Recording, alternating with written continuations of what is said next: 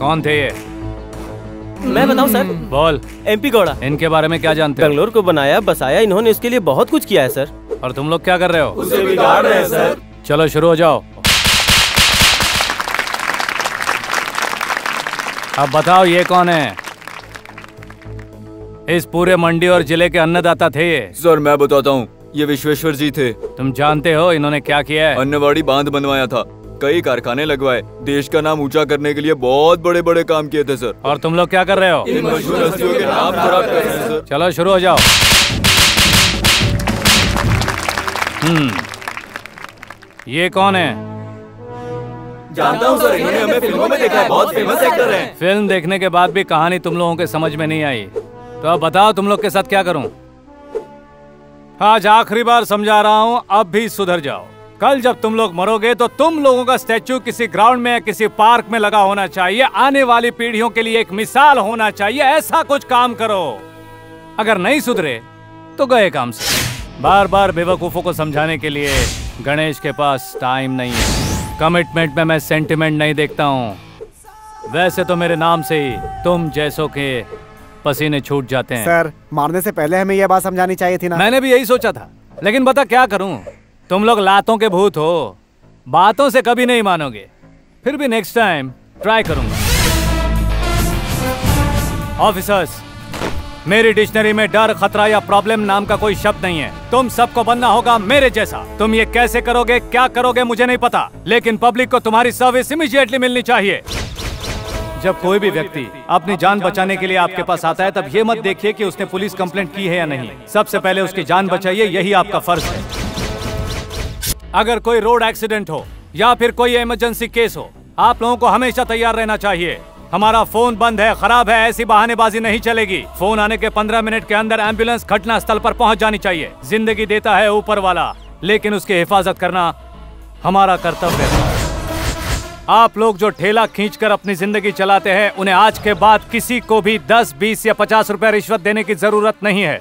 Corporators आपके area में जितने ठेले हैं उसे कॉर्पोरेशन में रजिस्टर कीजिए। हर महीना ये कितना देंगे वो फिक्स कीजिए। तभी ये लोग सुकून से जी सकेंगे। इससे करप्शन भी कम हो जाएगा और सरकार का इनकम भी बढ़ जाएगा। हर एक स्कूल कॉलेज और जहाँ लड़कियाँ काम करती है चाहे वो प्राइवेट जगह हो या गवर्नमेंट जगह हो सब जगह सिक्योरिटी का बंदोबस्त है या नहीं ये चेक करो। मैनेजमेंट से कहो कि वो रिपोर्ट देते रहें। अगर किसी ने कुछ कहा या पूछा तो कहो कि ये गणेश का ऑर्डर है और ये कंपलसरी है।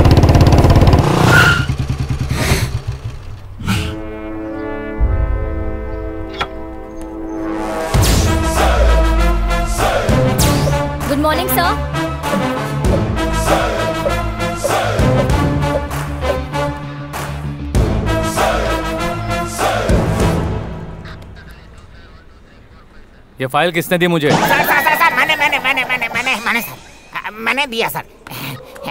Sir.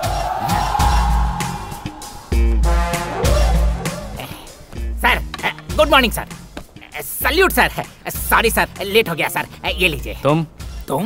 मतलब मेरा नाम है? बाहुबली आपके लिए सिर्फ़ आपके लिए पर्सनली अपॉइंट किया गया सर पीए पर्सनल असिस्टेंट आपको हेल्प करने के लिए है स्वीट लीजिए सर लेट आए हो इसके लिए? नहीं सर लास्ट वीक मेरी शादी हुई थी. आज ही हनीमून से लौटा हूँ. इसी खुशी में. सर इतना ही क्यों? और लीजिए ना. और किस लिए?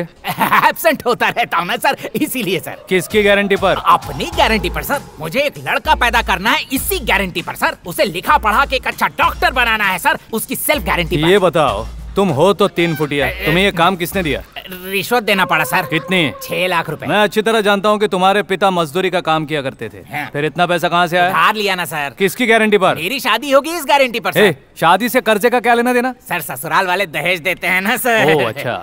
ये बता अगर कोई सरफिरा तेरी बीवी को उठा कर ले जाएगा तो क्या करेगा? दूसरी शादी कर लूँगा सर। सर वो नहीं तो दूसरी सही वो कहते हैं ना तू नहीं तो तेरी बहन। दूसरी वाली को अपने इशारे पर नचाने जैसा बनाऊँगा। नहीं मानी तो उसके इशारे पर मैं नाचता रहूँगा सर। सर ऊपर वाले ने ज़िंदगी दिया है तो खाने के लिए चारा भी तो देगा ना सर। छोड़िए ना सर बाकी सब चलता रहता हम्म, है। तो फिर चलो एक छोटा सा केस है निपटा कराते हैं। I am ever ready sir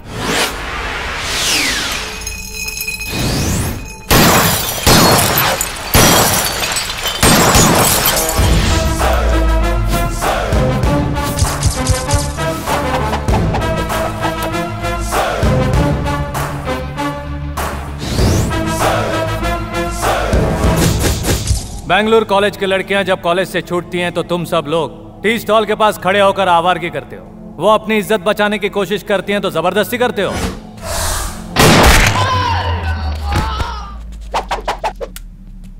उसके बाद जब पुलिस वाले तुम्हें ढूंढते ढूंढते आते हैं तो तुम जान बचाकर भाग जाते हो। किसी बिल्डिंग के ऊपर से जम करने की कोशिश करते हो और हम लोग तुम्हें शूट कर देते हैं। तब तुम लोग माँ कहकर नीचे गिरते हो। अरे ये सब पुराना खेल है। वही चोर और पुलिस वाला। बोर हो गया हूँ मैं इस खेल से। चलो हम लोग एक काम करते हैं। इस गेम को थोड़ा चेंज करते हैं। बाले। Yes sir yes sir ready sir तुम लोगों के पास एक मिनट का टाइम है। उसके अंदर तुम लोग ये हथकड़ी पहन के चुपचाप गाड़ी में बैठोगे तो सेफली लॉकअप पहुँच जाओगे। तुम्हारे बाल बच्चे आकर तुम्हें देखकर खाना देकर खुशी खुशी घर जाएँगे। वरना तुम लोगों की यहीं पर समाधि बना दूँगा। सोच लो क्या करना है। योर टाइम स्टार्ट्स नाउ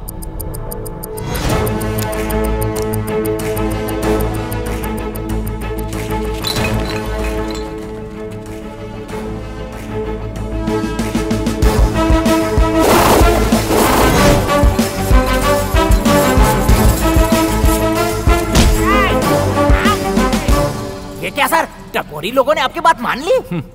सिर्फ़ यही नहीं हाँ। अच्छे अच्छों का भी यही हाल होता है। मान के सर। कुछ लोग तो मेरा नाम सुनते ही घबराते हैं। यही है इस वर्दी का पावर। Yes sir. सर हाँ। सिर्फ़ एक छोटी सी रिक्वेस्ट है सर। जब कभी किसी का इनकाउंटर करना हो ना तो मुझे कुछ देर पहले बता देना सर। क्यों? छुट्टी की अर्जी ले लूँगा सर। यहाँ बाहुबली के सहारे जीने वाले बहुत सी फैमिली है सर। इसीलिए प्लीज़ प्लीज़ प्लीज़ मेरी खातिर सर। हम्म देखते हैं। थैंक यू सर ऐसा sir no problem sir EL रहने की वजह से मुझे बार बार छुट्टी मिलती रहती है सर। ए, तेरे सीनियर गणेश का दिमाग दिनों दिन सातवें आसमान पे चढ़ रहा है। वो कोई देश सुधारने वाला महात्मा गांधी है? ऐसे इस शहर में कई आए और गए लेकिन यहाँ टिके रहने वाले हमारे भाई को वो नहीं जानता।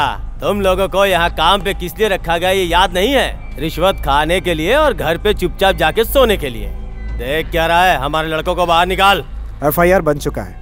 अब हम उन्हें नहीं छोड़ सकते। एक काम कर तू इसे बाहर निकाल और उसकी जगह किसी और को अंदर बैठा दे। कंप्लेंट में उसका नाम बदल दे और उसको जल्दी से बाहर लेके आ। चल। अरे खड़ा खड़ा क्या देख रहा है? जाके बाहर लेके आ रे खजूर। खड़ा हो जा खड़ा हो जा खड़ा हो जा खड़ा हो जा खड़ा हो जा।